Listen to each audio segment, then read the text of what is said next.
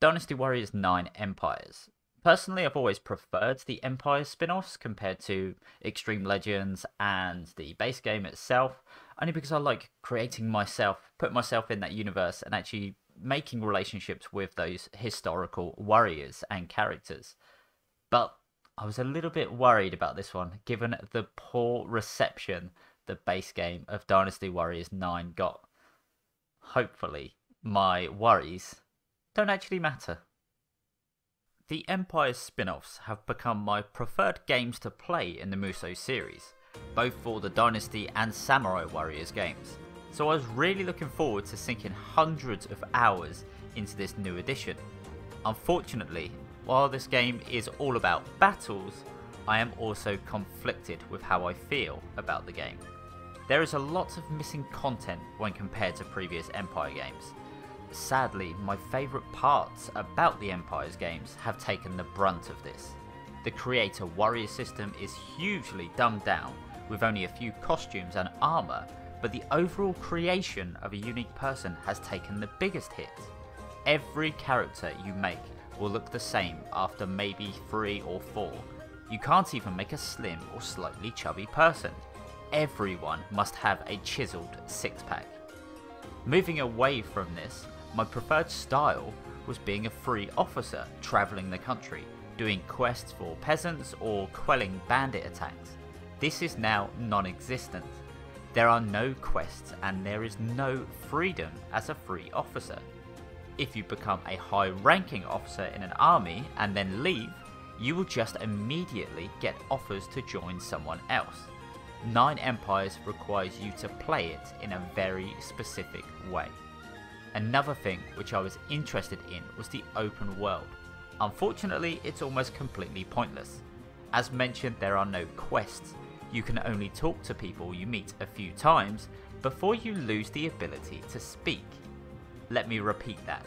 You actually lose the ability to speak and the enemies you face are the same bandits and animals which either give you food or resources. No new weapons, no upgrades, no recruitment, nothing else except food and resources. You can't even attack a neighbouring army as a surprise move, which I thought would have been an obvious design choice.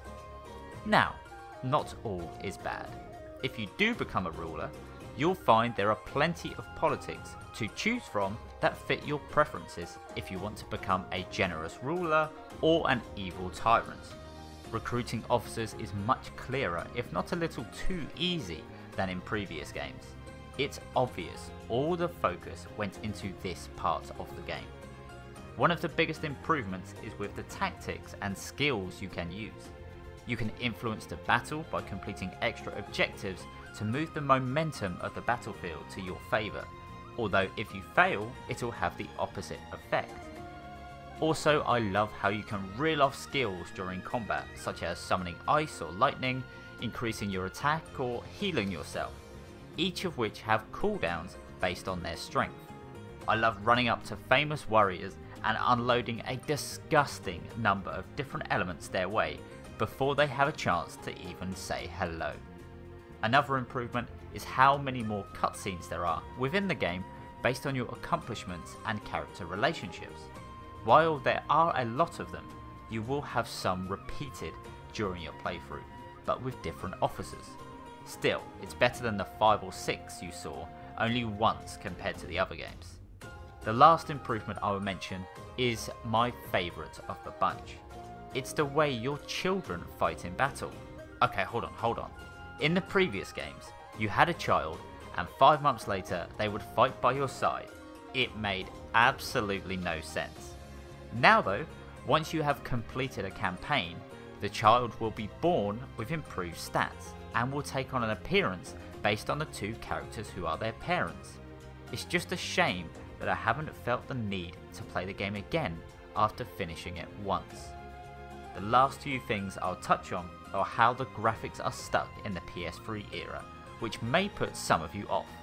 Honestly, for me, it's not really an issue as long as the game runs well. There are, however, quite a few bugs and glitches. Nothing game breaking, but they are definitely there, especially when it comes to the collision of your players and objects. Combat is still fun. It feels a lot slower and has more weight to it than in previous games.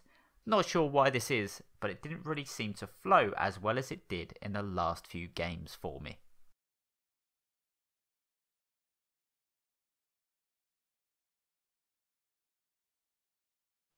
Hmm. It's a very tough one for me because as I've played so many of the Dynasty Warriors games, there's not anything really new that's been added.